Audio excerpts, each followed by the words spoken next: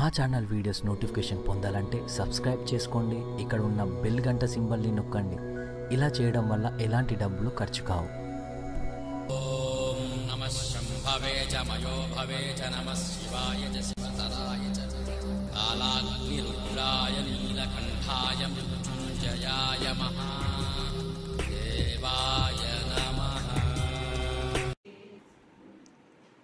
నిన్న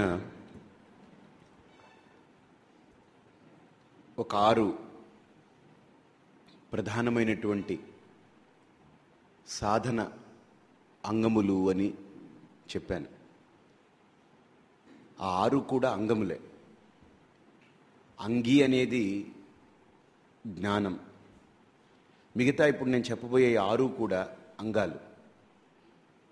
ఈ అంగాల్లో ఒక్కొక్క దాన్ని మనం సాధించుకుంటూ సమాహారం చేసుకుని ఈ ఆరింటిని కూడా మనం సొంతం చేసుకోవాలంటుంది ఈ ఆధ్యాత్మిక సాధనలో సాధకుడికి శాస్త్రం. ఒకటి శమహ శమ అంటే అంతరింద్రియ నిగ్రహ. మొట్టమొదట చూడండి లోపల నుంచి వస్తుంది బయటికి. శమము అంటే అంతరింద్రియ నిగ్రహం. అంటే మామూలుగా మనందరిని అడిగితే లోపల ఎన్ని ఇంద్రియాలు ఉన్నాయంటే నాలుగు ఇంద్రియాలు ఉన్నాయండి ఏమిటేమిటనంటే మనసు బుద్ధి చిత్తము అహంకారము అని నాలుగు రకాలుగా చెప్పుకుంటుంటారు. కానీ ఒకటే అది ఒకటే అంతఃకరణ బట్ వృత్తి విశేషాలవి. అంతఃకరణ మాత్రం ఒకటే లోపలుండేది ఒకటే అంతఃకరణ. కానీ సమయానికి తగుమాటలాడెదవే ఓ మనస అన్నట్టుగా ఒక్కో సమయానికి ఒక్కోలా అది ప్రవర్తిస్తుంది. ఎలాగానంటే సంకల్పాలు వికల్పాలు వచ్చినప్పుడు దాన్ని మనస్సు అని చింతన చేసేటప్పుడు దాన్ని చిత్తము అని దేనైనా నిర్ణయించి నిర్ధారించి ఇదమిత్తంగా ఇది అని చెప్పేటప్పుడు దాన్ని బుద్ధి అని ఇది నేనే చేశాను ఇది నేనే అనుభవిస్తున్నాను ఇది నాది అనేటువంటి అభిమానంతో మాట్లాడేటప్పుడు దాన్ని అహంకారము అని ఈ రకంగా ఈ నాలుగు కోణాల నుంచి అంతఃకరణని నాలుగు రకాలుగా మన ముందు పెట్టారు శాస్త్రకారులు. అందుకనే ఈ నాలుగు వృత్తి విశేషణాలు ఏవైతే ఉంటుందో అంతఃకరణ వృత్తి విశేషణమా విశేషణాలైనటువంటి నాలుగు కోణాలని ఇక్కడ ఏముంటుందంటే నాలుగు ఆస్పెక్ట్స్తో దీన్ని హ్యాండిల్ చేయాలి. బాగా ఆలోచించండి. ఎప్పుడు మనస్సులో ఆలోచించండి మనకు ఏదైతే సునాయాసంగా అందుతాయో దాని పట్లే మనసు వెళ్ళిపోతుంది. ఊరికినే వచ్చి పడిపోయే వాటి మీదనే మనసు వెళ్తుంది. కష్టపడే వాటి మీద మనసు వెళ్ళదు. కాబట్టి ఇప్పుడు బాగా ఆలోచించండి. సంధ్యావందనం చేయమంటే ఏమండి లఘు ఏమన్నా ఉందా అండి? ఏమండి గీతాపారాయణం చేయాలండి అని అంటే ఏమండి? అలా కాదండి. ఏదైనా ఒక్క శ్లోకం చేస్తే గీతాపారాయణం ఫలం అంతా వచ్చేస్తుందో చెప్పండి. అదేంటండి అలా అడుగుతున్నారు? నిజమే కదా స్వామీజీ? అంత విష్ణు సహస్రనామం చదవలేం కనుక. కేనోపాయేన లఘునా విష్ణోర్నామ సహస్రకం. జప్యతే పండితైర్నిత్యం శ్రోతుమిచ్చామ్యహం ప్రభో. పార్వతీదేవి అడిగింది. శివుడు కూడా చెప్పాడు శ్రీరామ రామ రామేతి రమే రామే మనోరమే. బాగా ఆలోచించండి. ఎప్పుడూ మనస్సు సులభంగా దొరికే వాటి మీద.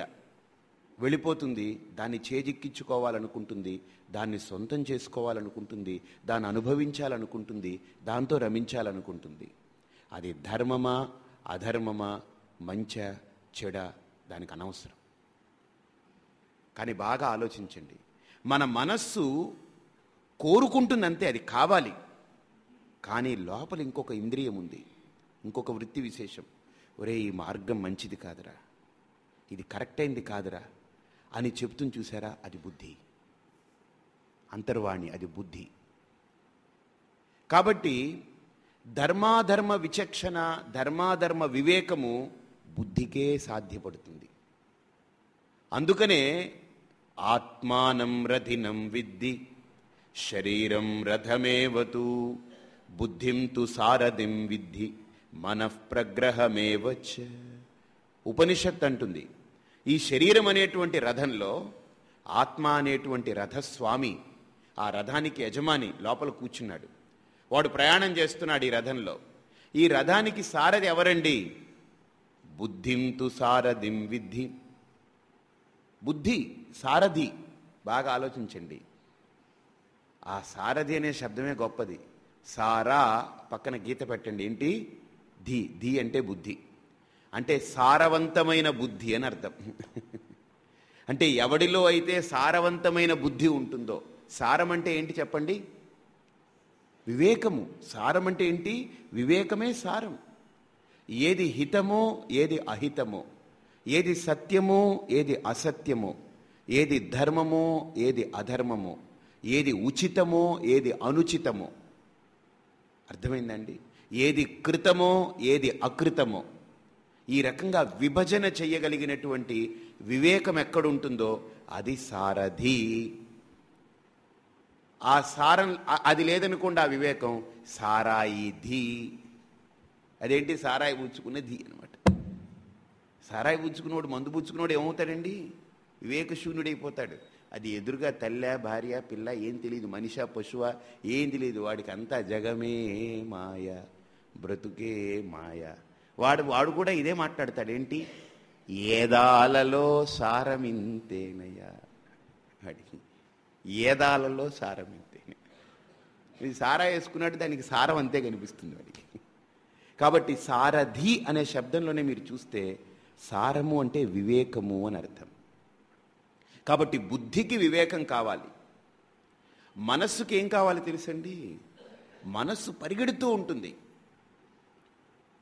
ఇంద్రియాలు మనస్సు ఓ ఉవ్విళ్ళూరిపోతుంటుంది. ఇంద్రియాలని తోడు తీసుకుని మనస్సు పరిగెడుతుంటుంది. కానీ ఆ మనస్సుని పరిగెట్టే మనస్సుని బాగా ఆలోచించండి. కారు స్పీడ్గా పరిగెట్టొచ్చు నో డౌట్. అందులో ముళ్ళు ఉంటుంది మీటర్ కూడా ఉంటుంది నూట నలభై దాకా ఉంటుంది అనుకోండి డ్రైవర్ ఎలాంటి వాడు అయి ఉండాలంటే స్పీడ్గానూ వెళ్ళాలి నియంత్రణ కూడా వాడి చేతిలో ఉండాలి. ఆ వాహనం మొత్తం కూడా వాడి కంట్రోల్లో వాడి యొక్క అధీనంలో ఉండాలి. అందుకనే ఇక్కడ బుద్ధికి చాలా గొప్ప లక్షణం ఉందండి. One who can master the mind he alone is the master master master అనే శబ్దం వాడుతాం కదండి. అంటే ఉపాధ్యాయుడికి ఆ పదం చెప్తాం. కానీ గుర్తుపెట్టుకోండి అక్కడ మాస్టర్ ఏం చేస్తున్నాడు తెలుసండి? కూర్చున్న అంతమంది పిల్లల్ని కూడా నియంత్రిస్తున్నాడు. ఎలా నియంత్రిస్తున్నాడు? కేవలం ఆ వాక్కుతోటి వాళ్ళందరినీ సమ్మోహితుల్ని చేసి కూర్చోపెట్టి వాళ్ళని తన వైపుకి పూర్తిగా ఆకర్షింపజేసుకుని తన వశాల్లో పెట్టుకుని తను మాట్లాడే ప్రతి అక్షరము వాళ్ళ లోపల అలాగ సునాయాసంగా వెళ్ళిపోయేలా చేయగలుగుతున్నాడు అంటే వాళ్ళందరినీ కేవలం తన వాక్కుతో నియంత్రిస్తున్నాడు. అందుకని ఆయన మాస్టర్ అన్నారు. నిజానికి మన శరీరంలో ఒక మాస్టర్ ఉన్నారు. ఎవరు? బుద్ధి.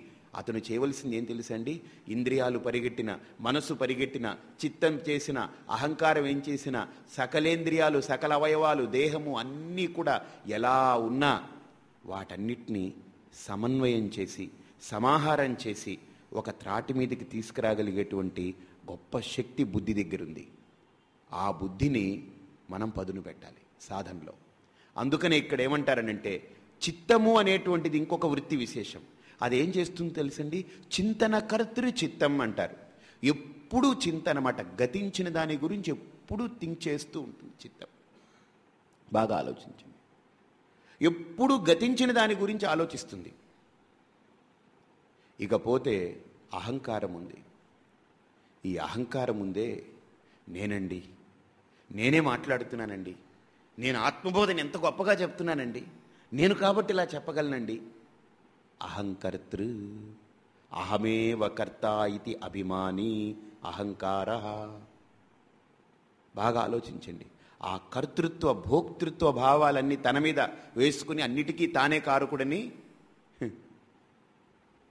ఊరికే ఉన్నమ్మ ఉట్టికి ఎగిసిపడింది అన్నట్టు అలా పడుతూ ఉంటుంది. ఏం ఉండదు అక్కడ. నేనింత నాదింత నేనంత నాదంత అంత ఇంత అనుకుంటూ ఆఖరికి చూస్తే ఎంత ఉండదు. పిడికిడి బూడిదే. గుప్పెడు బూడిద ఆఖరికి. ఏం ఉండదు ఇంకా. తీసుకెళ్ళి అవతల పాలు చేస్తారు కాల్ చేస్తారు. అది ఇప్పుడు ఏమిటంటే బాక్సులు కూడా వచ్చాయి. లోపల పెట్టి ఇలా ఒక్కసారి తోసి రెండు నిమిషాల్లో తీస్తే అసలు మొత్తం స్మాష్. ఏం ఉండదు. ఒక్కసారి దాన్ని ఆలోచించుకుంటే ఆ అంతిమ స్థితిని ఆలోచించుకుంటే ఇప్పుడు అహంకారం బాగా నిగిపోతుంది. బాగా ఆలోచించండి. కాబట్టి లోపల ఉన్నటువంటి మనస్సు బుద్ధి చిత్తము అహంకారం అనేటువంటి వృత్తులున్నాయే ఈ వృత్తి విశేషణాత్మకమైనటువంటి అంతఃకరణ ఉందే అది గొప్ప వస్తు. అదే సాధనకు మనకు కావలసినటువంటి మొట్టమొదటి పరికరం. ఈ శరీరం ఏంటంటే ఇది ఒక బండి అంతే బస్. ఇది ఒక ఉపాధి ఇది ఒక బండి. కార్లు కారుకి చక్రాలు అద్దాలు ఈ మడ్గాడు తర్వాత పైన షెల్లు సీట్లు ఇవన్నీ కారు. కానీ గుర్తుపెట్టుకోండి లోపల ఇంజన్ లేకుండా ఇన్ని ఏం చేసుకుంటాం ఊరికినాయి సినిమాల్లో కారులో యాక్సిడెంట్ అయినప్పుడు ఇలా అంటుకుంటాయి చూసారండి అవన్నీ ఒరిజినల్ ఏం కాదండి అది. అవన్నీ ఇదిగో లోపల ఇంజన్ తీసేసి పైన షెల్ పెట్టి అన్ని పెట్టేసి లోపల తోసేస్తారన్నమాట లోయలోకి. అంతే ఒట్టిది. ఇంజిన్ పెట్టి తోస్తాడు ఎవడన్నా? ఒక ఇరవై కార్లు తగలెట్టాడు అనుకోండి. వాడు తగలెట్టిపోతాడు. ఇంకా తర్వాత సినిమా ఆడదు. వాడికి తెలుసు పది రోజులు కూడా ఆడదు ఇది. ఇంతో ఈ కార్లన్నీ తగలెట్టడం ఎందుకని? ఒట్టి పైన షెల్ అలా పెట్టేసి ఓ ఒక ఐదేసి వేలు కొనేసి ఒక ఇరవై కార్లు కొనేసి ఓ లక్ష రూపాయలు ఇరవై కార్లు తగలెట్టేశానని అంటాడు. అయి ఒట్టిది అది ఆ ఇంజన్ లెస్ షెల్ అనమాట కార్. ఇది కూడా అంతే. ఆ ఇంజన్ లేదనుకోండి లోపల. అది ఇగ్నేట్ చేయలేదనుకోండి లోపల. ఇదేం పనిచేయదు ఇది.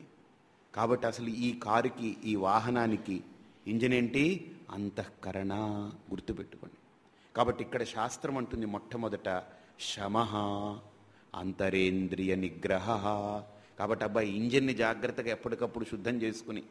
మనం కూడా చూడండి కార్ని సర్వీసింగ్ తీసుకెళ్తారనుకోండి పైన షెల్ ఉంటుందనుకోండి దాన్ని వాటర్ సర్వీసింగ్ చేసి ఎయిర్ కొట్టి బ్లోయర్ చేసి అంతా క్లీన్ చేసి అన్నీ చేస్తారు. కానీ ఇంజన్ని సర్వీసింగ్ చేసేటప్పుడు ఎలా తెలిసింది ఆయిల్ అంతా తీసి వేరేదేదో డంప్ చేసి మళ్ళీ దాన్ని స్టార్ట్ చేసి మొత్తం అంతా సక్ చేసి మళ్ళీ లోపల చాలా ప్రాసెస్ ఉంటుంది. పైన కారు కడగడానికి పెద్ద కష్టమేం కాదు అది. కాబట్టి లోపల ఇంజన్ని కడగడానికి కూడా చాలా కష్టం ఉండు ఈ పైన కారుని కడిగేస్తున్న రోజు ఉదయం ఒకసారి మధ్యాహ్నం ఒకసారి సాయంత్రం ఒకసారి ప్రోగ్రామ్కి వెళ్ళాలనుకుంటే ఒకసారి ఫంక్షన్కి వెళ్ళాలనుకుంటే ఓ ఇంక లోపల కూర్చుని కడిగి కడిగి తోమి తోమి పులిమి పులిమి పాకి పాకి పీకి పీకి ఓ రకరకాలు చేసి చేస్తున్న అంతా చేసి కూర్చుంటున్నాం. కానీ లోపల ఇంజన్ని క్లీన్ చేయడం చూసారండి? చాలా కష్టం. అది ఎలా చేయాలండి? దానికి ఒక్కటే మార్గం. వేరే రెండో మార్గం లేదు. ఏంటి తెలుసండి? భగవన్నామం ఒక్కటే మార్గం. భగవన్నామం ఒక్కటే ఆ అంతఃకరణని శుద్ధి చేయడానికి అదొక్కటే మార్గం. ఈశ్వర నామం అది ఏ దైవమైతే అవ్వచ్చు ఏ యదామాం ప్రపద్యంతే తాం భజామ్యహం. బాగా ఆలోచించండి. మీకు ఈశ్వరుడు ఇష్టం అనుకోండి చేయండి అది కూడా ఒక ఉపాధే కదా. ఈశ్వరుడు అనేవాడు జటాజుటాలు ఒక ఉపాధి కృష్ణుడు ఒక ఉపాధి రాముడు ఒక ఉపాధి విష్ణు ఒక ఉపాధి అమ్మవారు ఒక ఉపాధి ఉపాధి మనం దానికి దృష్టి పెట్టుకోకూడదు. దాని మీద ఎక్కువ మనం వ్యయప్రయాసలు చేసి కృష్ణుడే దేవుడు శివుడే దేవుడు అమ్మవారే దేవుడు పోట్లాటక్కర్లేదు. ఒక నామం చాలు మనకు. ఒక్క నామం. అది లోపల పడిందని అంటే పనిచేస్తూ ఉంటుంది ఇంకా. దాన్ని నిరంతరం మీరు జపం చేస్తూ ఉండండి. అందుకే నిన్న మీకు చెప్పాను ఒక మాట. మీ మనస్సుని రెండుగా మార్చుకోండి. ఒకటి వ్యవహారానికి వదిలేయండి. ఒకటి నామజపానికి విడిచిపెట్టండి. అప్పుడు ఏమవుతుంది తెలుసండి? మీకు అహంకారము పెళ్ళుబికదు. మిమ్మల్ని ఇబ్బంది పెట్టదు. చింతన కూడా ఎక్కువ ఉండదు. ఆ చిత్తం ఓ గతాన్నంతా కూడా గుర్తు చేసుకోదు. మనస్సు కూడా ఆరాటాలు పోరాటాలు సంఘర్షణలు ఉండవు. బుద్ధి కూడా చక్కటి విచక్షణ కోల్పోకుండా నిలబడి ఉంటుంది. కాబట్టి అంతఃకరణ మొత్తం కూడా మీ స్వాధీనంలో ఉంటుంది. నామజపం చేస్తే.